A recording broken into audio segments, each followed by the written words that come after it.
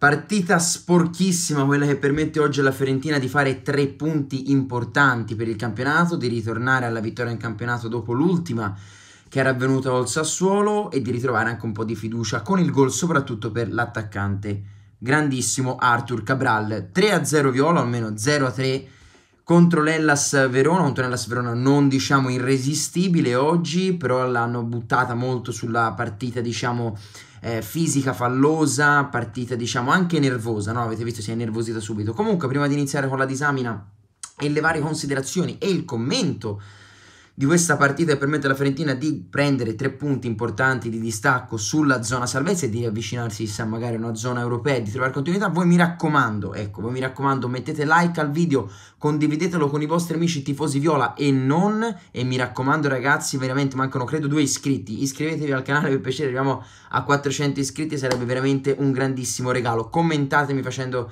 sapere qui sotto le vostre impressioni su questo match su questo Monday night, Monday afternoon tra virgolette, e eh, visitate anche la pagina di Space Viola, grandissimi, grande grande progetto.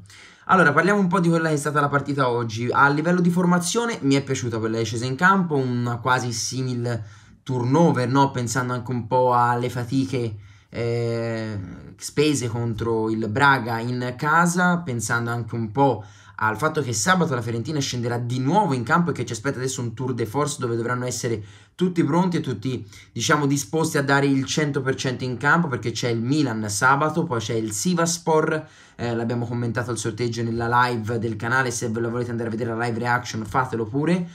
Non indugiate e oggi come ho detto formazione devo dire tutto sommato giusta mi è piaciuta una formazione che comunque mh, ha, ha, improntato diciamo ha fatto della sua forza anche la fisicità italiano l'aveva detto in conferenza stampa no? conferenza stampa nelle domande nelle analisi del pre-partita vedete sarebbe stata una partita sporca quindi giusto naturalmente far giocare Amrabat queste sono diciamo le sue partite anche se oggi non ha brillato molto ma ha fatto un buon filtro al centrocampo devo dire finché è rimasto nel terreno di gioco.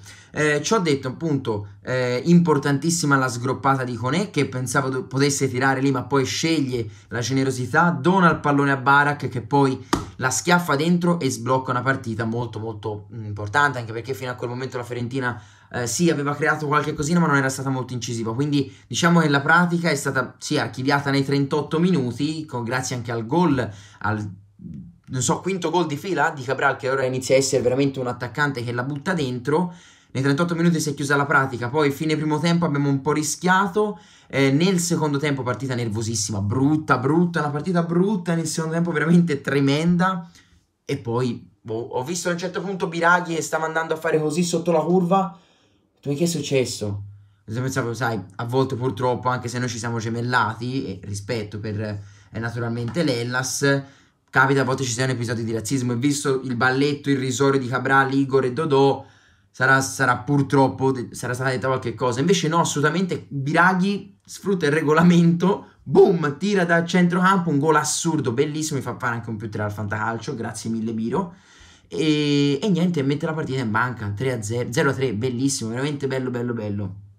A parte quello comunque eh, nel primo tempo trame tattiche l'abbiamo visto, un po' qualche sovrapposizione, in difesa siamo stati attenti, mm, è stato, mi è piaciuto molto di più il coinvolgimento di Dodò, Terzic oggi non mi è piaciuto, gli ho preferito molto di più Dodò.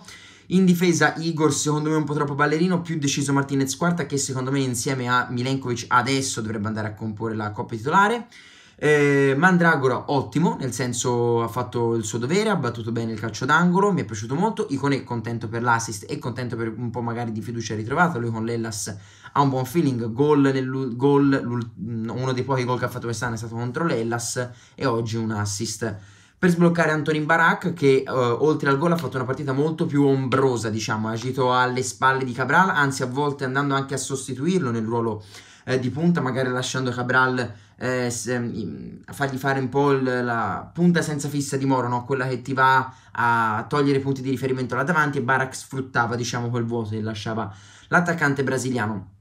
Nico, eh, bravo sulle palle diciamo alte, eh, oggi ne ha spizzate parecchie, si è preso dei falli, eh, me lo aspettavo un po' più diciamo freddo anche sull'ultimo, sull'ultimo gol, sull'ultimo gol che poteva fare, no? Quindi eh, avrei, diciamo, sarebbe stato un bel coronamento il gol di Nico verso la fine del match, ma a parte quello, dai, ottima prestazione di Nico oggi, non c'è niente a dire, man- manca il gol, no?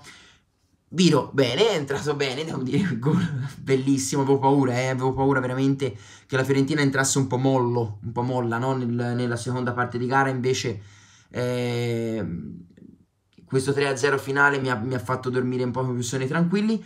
Buonaventura al posto di Barak si sì, ha messo un po' più di ordine al centrocampo, ha pulito ottimi palloni, però mi aspetto sempre un po' più di incisività, più di velocità nella manovra. Castro non l'ho visto tantissimo bene secondo me, Jovic, guardo subito quanto pallone ha toccato, a 10 palloni ha toccato. Non è stato servito, non è stato cercato praticamente, quindi sicuramente oggi è prevalso di più Cabral, anche, anche non fosse anche per il gol. Saponara è entrato un po' molle in certe situazioni, però insomma un po' di pericolosità, un po' di imprevedibilità te la regala sempre. Terracciano, Terracciano comunque oggi ha sventato qualche gol e qualche situazione pericolosa, oggi ha fatto una discreta prestazione, più che altro la Fiorentina torna a fare dopo eh, la partita di Braga anche un clean sheet, cosa insomma una porta inviolata, conclude la, la, partita a porta inviolata ed, ed, è un sentimento anche di fiducia magari, no?